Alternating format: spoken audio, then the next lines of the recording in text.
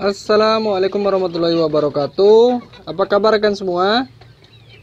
Saya sangat berharap mudah-mudahan rekan semua berada di keadaan yang sangat baik Sehat dan tak kurang satu apa pun Rezekinya lancar dan yang terpenting adalah semua urusan bisa berjalan dengan bagus Karena badan kita sehat Nah kembali lagi Hari ini pada video ini kita berjumpa lagi dengan channel pertanian terpadu. Dan kali ini kita akan membahas mengenai bahan pakan ayam Yang sering sekali digunakan tetapi sebenarnya memiliki efek yang buruk Jika digunakan secara serampangan.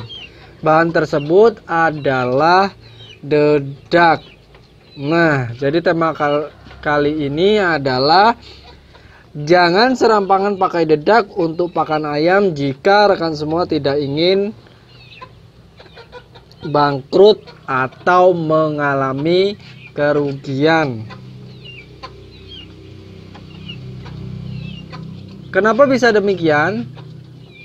Uh, dalam dunia peternakan, khususnya peternakan ayam, dedak sudah merupakan salah satu hal wajib yang biasa digunakan dalam ransum atau pakan. Tetapi penggunaan dedak ini tidak bisa begitu saja tanpa ada pertimbangan-pertimbangan khusus dan komposisi-komposisi khusus karena sebenarnya dedak ini memiliki efek yang tidak baik apabila digunakan atau diberikan kepada ayam tanpa ada pertimbangan yang bagus.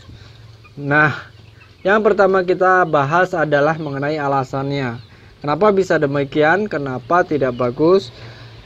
Saya punya beberapa alasan yang bisa rekan semua kaji lebih dalam.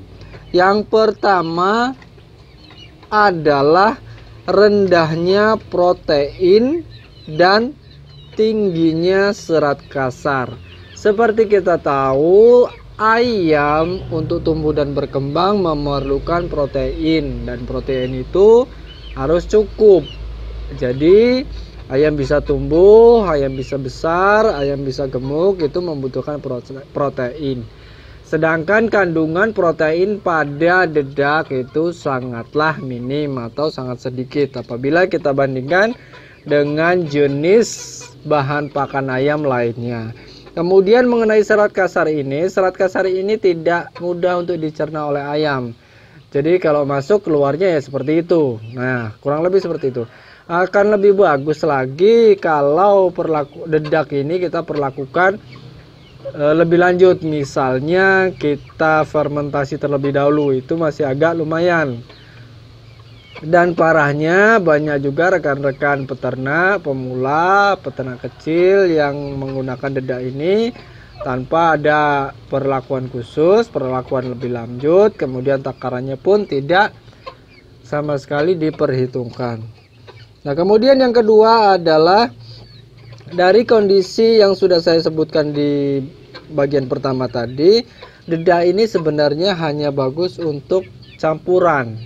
Kalau saya secara pribadi mengatakan seperti itu. Jadi dedak ini bukanlah pakan utama, bukanlah pakan ayam tetapi hanya campuran.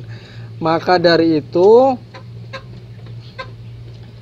Penggunaannya pun harus diukur sedemikian rupa agar tidak mempengaruhi atau memberikan efek buruk pada ayam yang kita pelihara. Sebagai campuran, dedak ini saya pribadi memfungsikan yaitu untuk sebagai bahan agar pakan basah kita tidak lengket ketika diolah menjadi dicampur dengan air ketika kita tambahkan dedak maka bahan-bahan pakan kita tidak akan lengket dan airnya itu tidak akan lengket.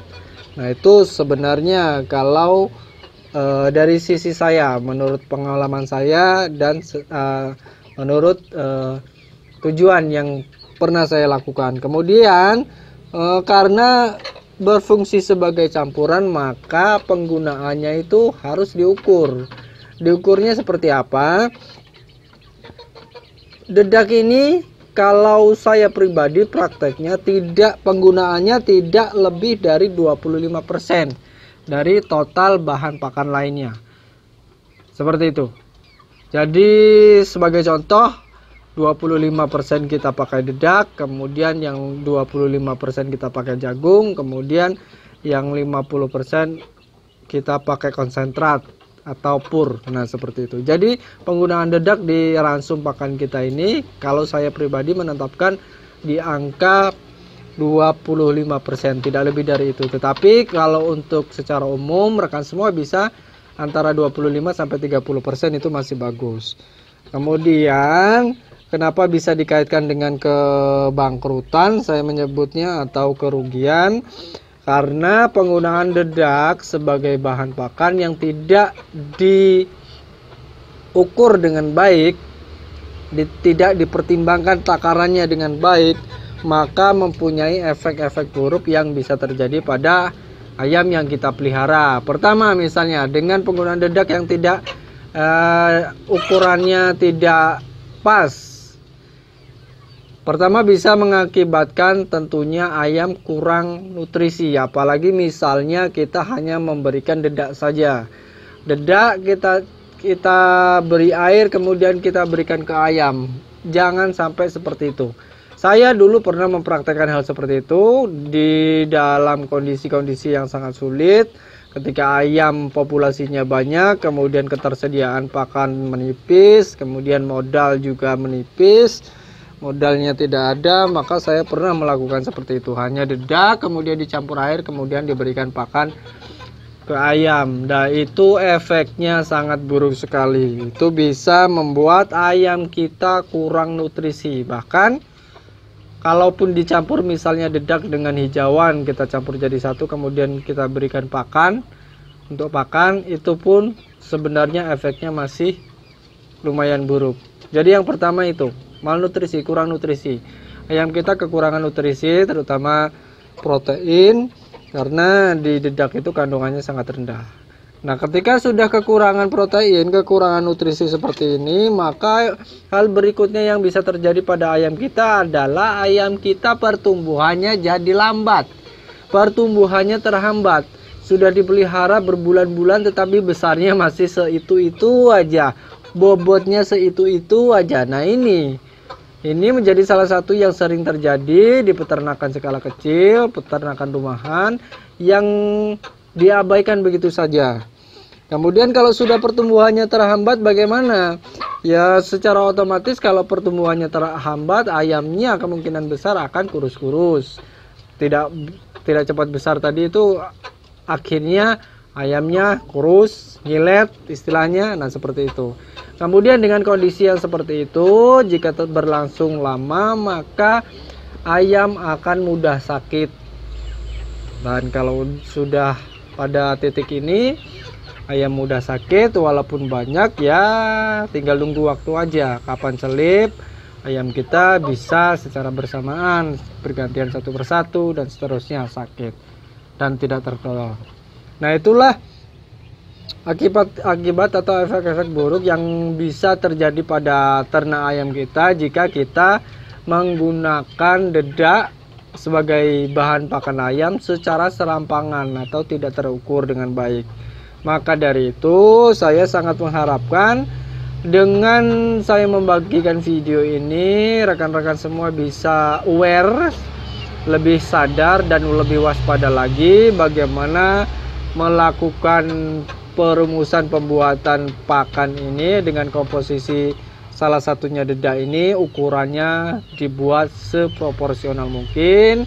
Meskipun kita harus menghemat biaya tetapi jangan sampailah kita mengabaikan apa yang menjadi kebutuhan pokok ayam. Karena kasihan juga kan kalau malu hidup kita pelihara kita masukkan ke dalam kandang tapi tidak kita berikan makanan yang sesuai dengan porsinya.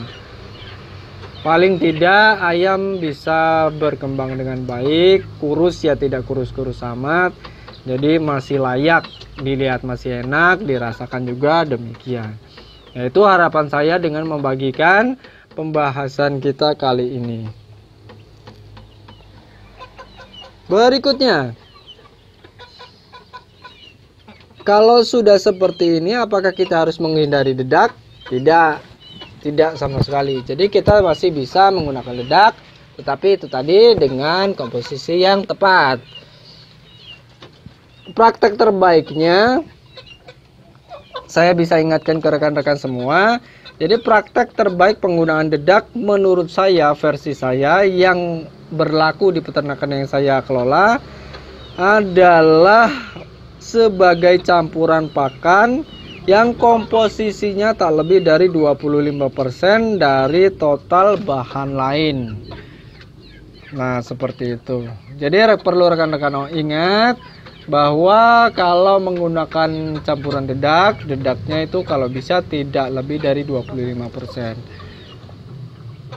Dengan begitu, pakan yang kita buat yang kita berikan ke ayam kita itu masih mempunyai nilai nutrisi yang cukup untuk bekal ayam bisa tumbuh berkembang sampai nantinya ayam-ayam kita siap dijual. Jangan sampai kita memelihara ayam tetapi ayamnya hanya asal hidup saja. Karena kalau kita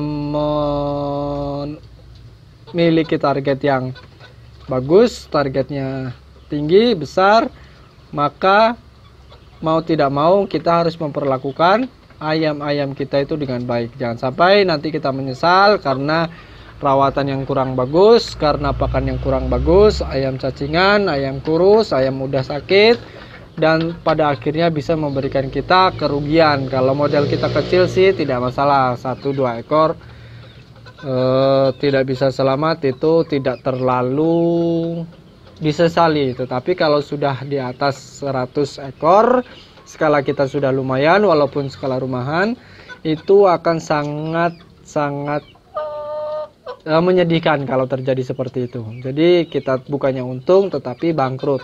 Modal yang kita tanamkan di peternakan yang kita kelola itu tidak bisa pulang. Hanya gara-gara hal sepele yaitu pemakaian dedak yang tidak sesuai dengan komposisi yang dibutuhkan oleh ternak ayam. Oke, saya rasa cukup sampai di sini pembahasan singkat kali ini. Mudah-mudahan bisa bermanfaat untuk rekan semua. Kalaupun ada sesuatu yang kurang bisa diterima, saya mohon maaf. Kalaupun ada yang ingin disampaikan, silakan rekan-rekan semua tinggalkan uh, sesuatu yang ingin disampaikan tersebut di kolom komentar. Sampai di sini saja. Terima kasih telah mengikuti video saya sampai selesai. Jangan lupa like, comment, share, dan subscribe tentunya. Sampai bertemu pada video berikutnya. Wassalamualaikum warahmatullahi wabarakatuh. Salam sukses peternakan Indonesia. Terima kasih.